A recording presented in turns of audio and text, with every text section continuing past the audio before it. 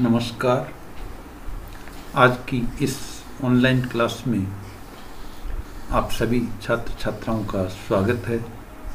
अभिनंदन है। गत ऑनलाइन क्लास में हमने प्रणोदित दोलक के आयाम और अधिकतम आयाम स्थिति या आयाम अनुनाद का अध्ययन किया था। हमने देखा था कि किस प्रकार किसी प्रणोदित दोलक का जो आयाम है, वो चालक बल की आवृत्ति पर निर्भर करता है। हमने ये भी देखा था कि शून्य अवमंदन की स्थिति में जो आयाम है, वो अनंत होता है और जैसे जैसे अवमंदन का मान बढ़ता जाता है आयाम का मान शून्य से कमी की तरफ़ अग्रसर होता है। और इसके अलावा आयाम अवमंदन के साथ जो आयाम है, वो कम आवृत्ति की ओर विस्थापित होता जाता है। अब प्रश्न ये उठता है कि ये जो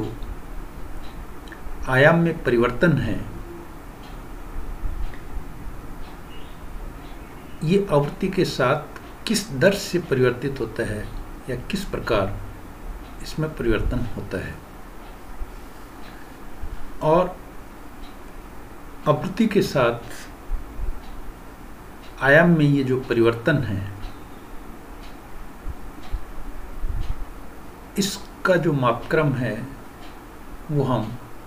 अनुनाद की तीक्ष्णता के रूप में करते हैं। या यूँ कहें कि इसे हम अनुनाद की तीक्ष्णता कहते हैं। आज की इस ऑनलाइन क्लास में हम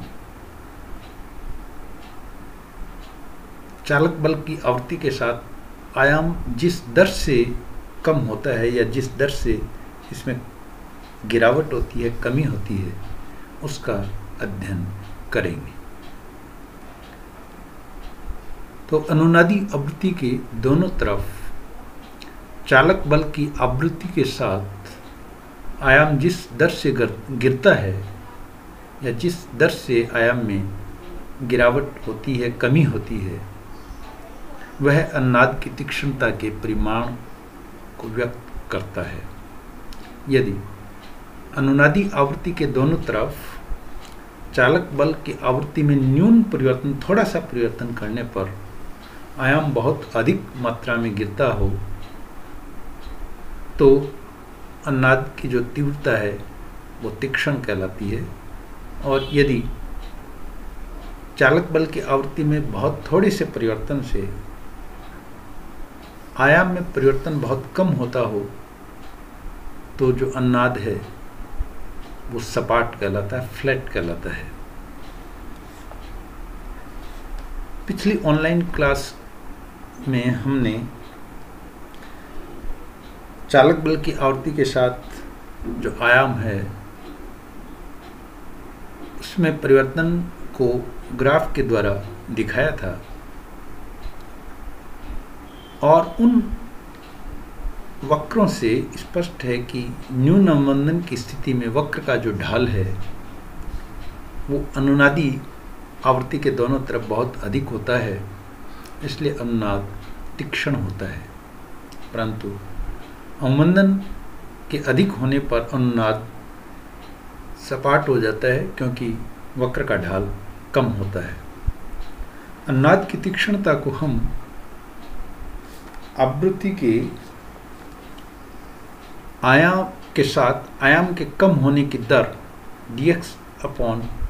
D W से D X upon D omega से नापते हैं।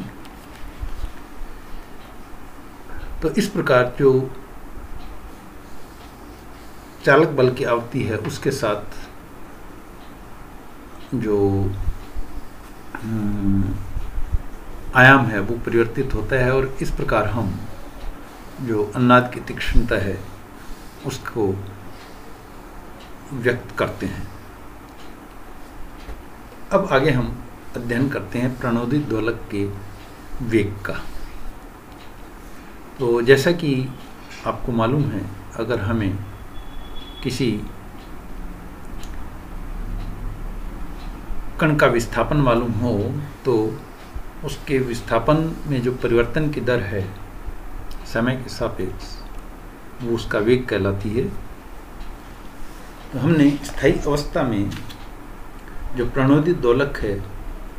उसके विस्थापन का समीकरण पिछली ऑनलाइन क्लासेज में अध्ययन किया था। और जैसे कि आपको मालूम है, किसी प्रणोदित दोलक का जो आयाम, दोलक का जो विस्थापन है, उसका मान होता है x equals to x zero sine omega T minus five यहाँ पर x ज़ीरो इस विस्थापन का आयाम होता है, जिसका मान होता है small F zero upon under root omega zero square minus omega square का whole square plus four small R square omega square और फाइव जो कला है, उसका मान होता है tan inverse tan one upon tan कहें, या टेन माइनस टेन की power, tan raise to power minus one twice R omega upon omega zero square minus omega square तो चूँकि हमें प्रणोदित दोलक का विस्थापन मालूम है, इसलिए इसके वेग का जो मान है, वो इस विस्थापन के समय टी के सापेक्ष अवकलन से प्राप्त होगा। इसलिए वेग v होगा dx अपॉन डी टी और x चूँकि x zero sine omega T minus five के बराबर है। इसलिए v का मान हुआ omega x zero cos omega T minus five और चूँकि प्रणोदित दल प्रणोदित दोलक का विस्थापन और दौलत पर आरोपित बल, ये सभी मान साइन की फॉर्म में हमें प्राप्त होते हैं, इसलिए इस वेग का मान भी हम साइन की फॉर्म में कन्वर्ट कर सकते हैं। इसलिए कोस थीटा को साइन थीटा में अगर कन्वर्ट करना हो तो जैसा कि आपको मालूम है ट्रिग्नोमेट्री से sine theta plus pi by two ये कोस थीटा के बराबर होता है। इसलिए इस cos omega T minus five को साइन के फॉर्म में हम लिख सकते हैं sine omega T minus five plus pi by two इसलिए वी का मान हुआ omega x zero sine omega T minus five plus pi by two और इसको हम लिख सकते हैं omega x zero sine omega T minus delta जहाँ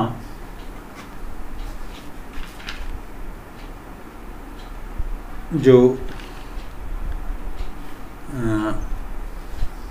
डेल्टा है, उसका मान होगा five minus pi by two.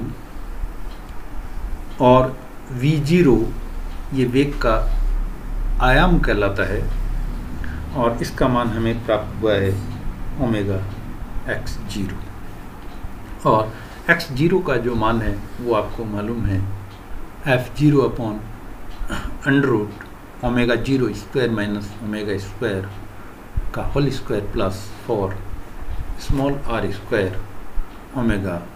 square इसलिए एक्स ज़ीरो का मान सब्सटीट्यूट इसमें कर दें तो जो वेग आयाम है, वो होगा V zero equals to omega F zero upon under root omega zero square minus omega square का whole square plus four small R square omega square और जैसा कि मालूम है आपको स्मॉल एफ़ ज़ीरो इसका मान होता है capital F zero upon M इसलिए इस वी ज़ीरो को लिखा जा सकता है V zero equals to capital F zero upon M upon omega zero square minus omega square upon omega का whole square plus four R square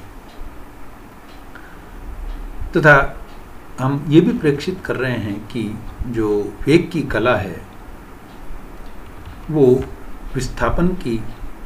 कला से पाई बाई टू आगे रहती है।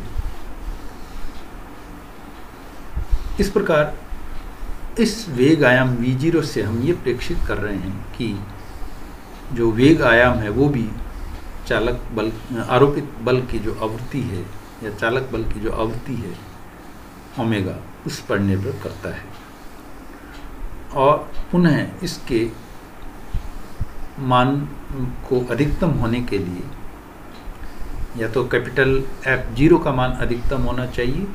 या वी ज़ीरो का जो हर पार्ट है, omega zero square minus omega square upon omega का whole square plus four small R square की पावर हाफ़, इसका मान न्यूनतम होना चाहिए।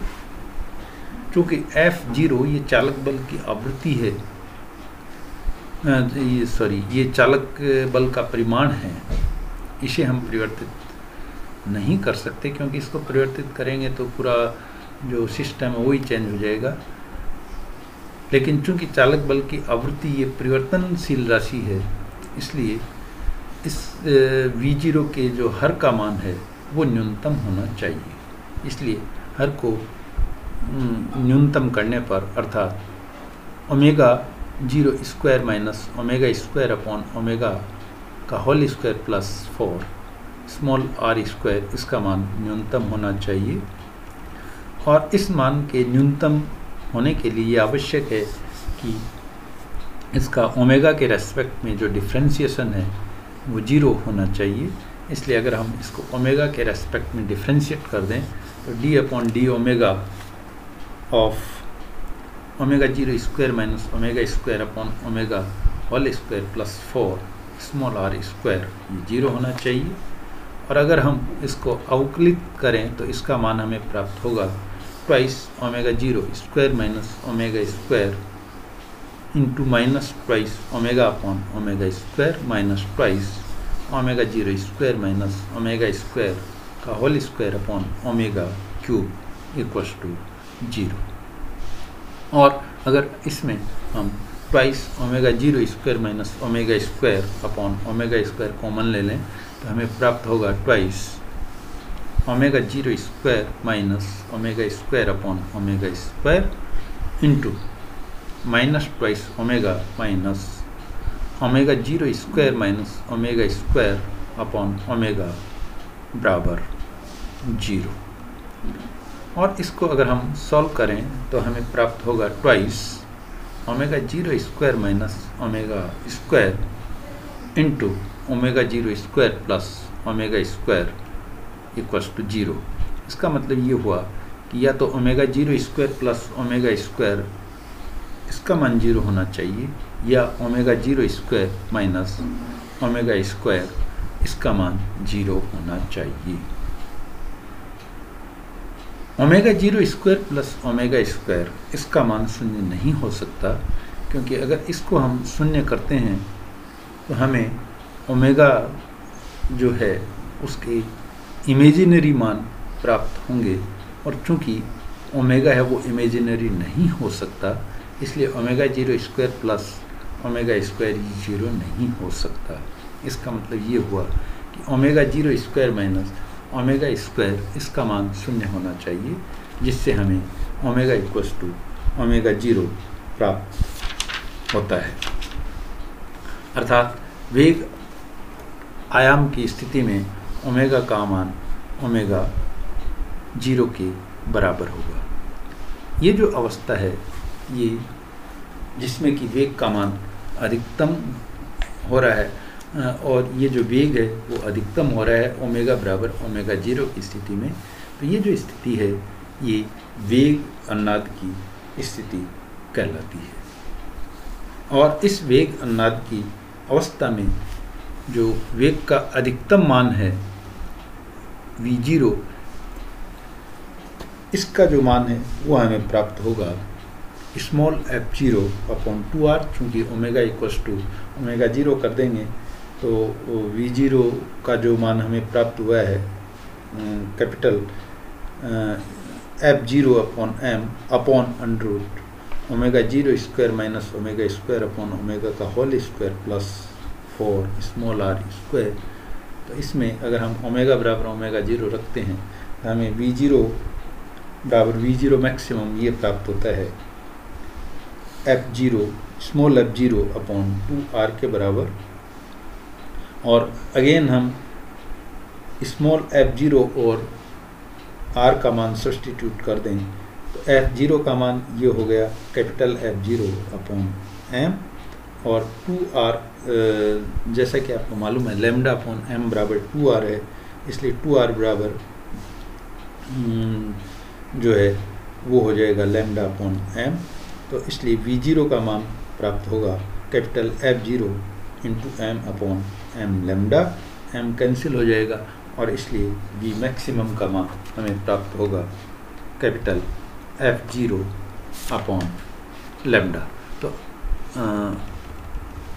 आज की जो ऑनलाइन क्लास में है उसमें बस इतना ही। धन्यवाद।